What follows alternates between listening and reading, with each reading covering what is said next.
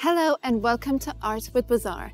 I'm Ayesha Shehmir and today we are at NYUAD to find out exactly how the institution is shaping the region's art scene and welcoming all forms of creative expression. Now we're here at the Arts Center with the founding executive artistic director, Bill Bragin. Now, Bill, one of the main missions of the center is to bring tradition and innovation together through local and global talent. What are some of the ways the seventh season, themed now and into the future, achieving this? Well, I think one of the first things that we uh, try to do is to commission new work. So we are really looking at investing in the creation and development of pieces that actually speak to that theme, which is such an important theme here in the UAE.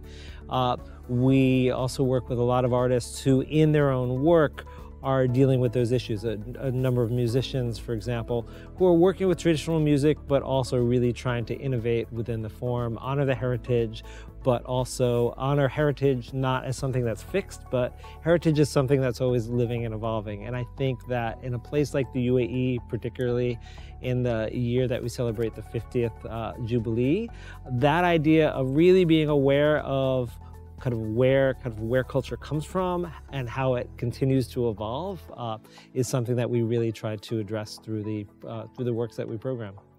And the center has launched a new artist development program called Numu, which means growth in Arabic. Right. And the idea is to provide performing artists with opportunities that they might not otherwise have. Can you tell us a little bit more about this year long initiative and how it aims to benefit a whole community of artists? Sure. Numu was started because there's an enormous amount of talent here in the UAE, uh, but the artists don't always have as many opportunities to perform their work publicly, to develop. And as an artist, one of the ways you learn the most is by doing it. Uh, and one of the ways that you learn is also by bringing your work on tour, which also then provides, uh, it really helps to provide uh, financial stability. It helps you to really develop a career. And for the UAE, the artists who are based here really tell perspectives about what life is like here in the UAE in a way that the rest of the world doesn't necessarily get to hear as often. There are not that many artists uh, from the Emirates who are traveling internationally. Uh, so we created Numu. Uh, we got uh, we got support from the U.S. mission to the UAE, who are very interested in helping to support the nation's mission of growing the creative economy. Uh, and we are looking at all of the fundamentals of how do you build a sustainable career, both for people who want to work right here at home and also people who want to tour.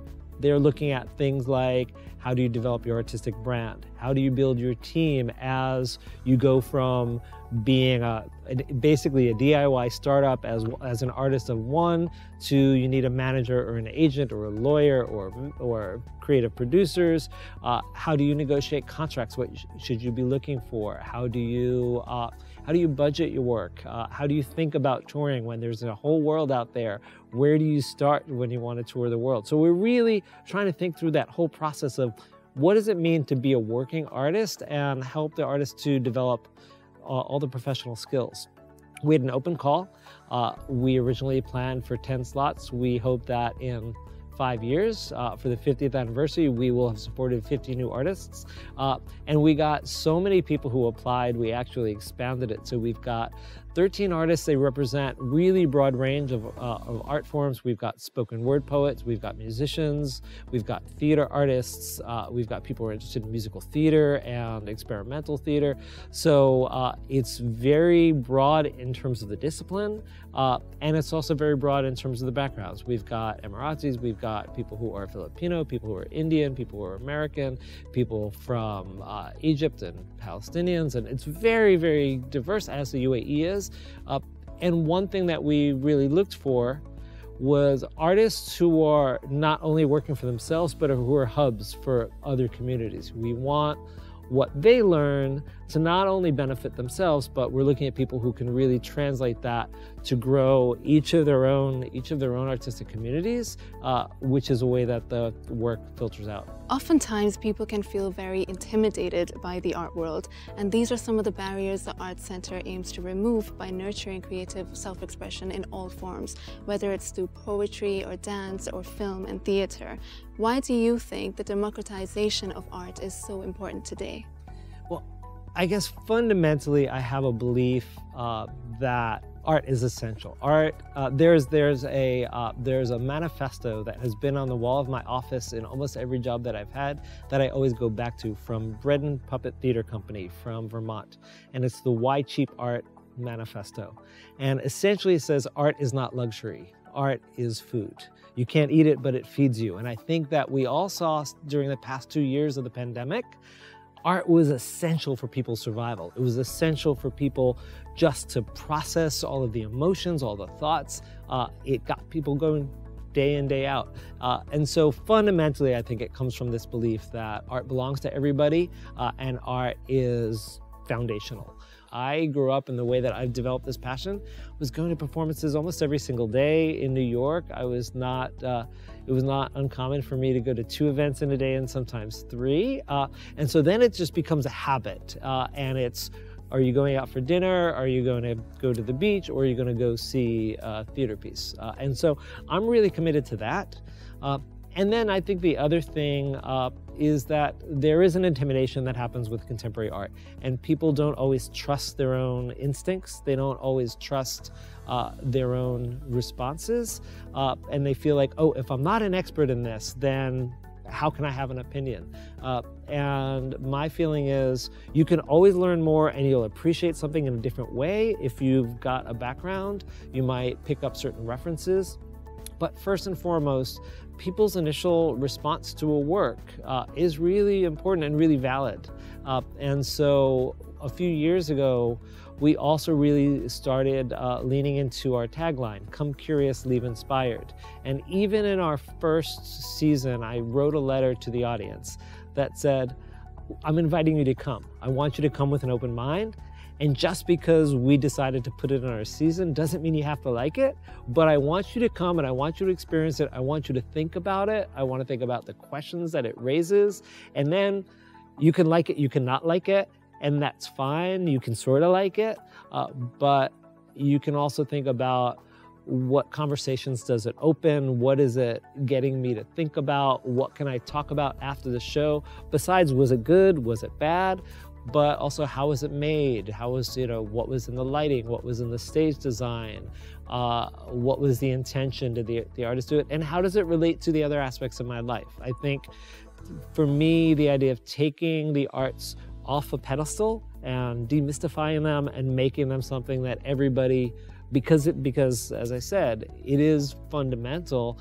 Everybody has access to it, and I want people to, I think, own that that sense of experience that if they if they watch a performance that the emotions that they feel, the thoughts that go through their mind, those are valid responses, uh, and then kind of grow from there. So, what can you tell us about the center's contribution to the future of the arts ecosystem in the region?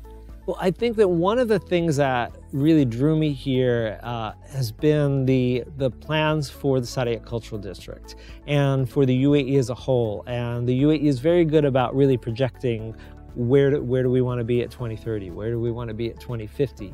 And what's exciting is that in all of that identity about the country as it evolves, is that the arts has really been prioritized. And the, to be here and to be here at, at New York University on Saadiyat down the block from the Louvre down the block from Manarat Al Saadiyat, down the block from Berklee, Abu Dhabi, down the block from the future Sheikh Zayed National Museum, the future Guggenheim Museum. All of that really feeds to uh, creating the UAE as a nexus of ideas and of creativity, uh, but it's also an investment in the economy. I think you can see with all of the development around around the university on Saadiyat, uh, all along the beaches. Uh, it's really it's it's become an incredible destination both for people from around the country, but also from the region, and uh, and so that's also really important as a contribution. People often think of the UAE as a place that is just importing ideas and products and brands and so on. And the arts breeds innovation and creativity. Uh, and the commissioning of work that I spoke about earlier is something where we are really, we are really creating work that is from the UAE, that represents the UAE in all of its diversity, and all of its complexity, in all of its tradition and contemporary and future vision. Uh, And then that's something that can also really broaden the economy and we're hearing from the Ministry of Culture and Youth about the development of the creative economy. We're hearing from the Department of Culture and Tourism in Abu Dhabi about the city being selected by UNESCO as, um, as a city of music. And that investment uh, is important both psychically but also economically to, uh, to diversify the foundations of, uh, of the UAE. Absolutely. Thank you so much for joining us, Bill. Great. Thank you so much. Thank you for watching this episode of Art with Bazaar, and we'll see you next time.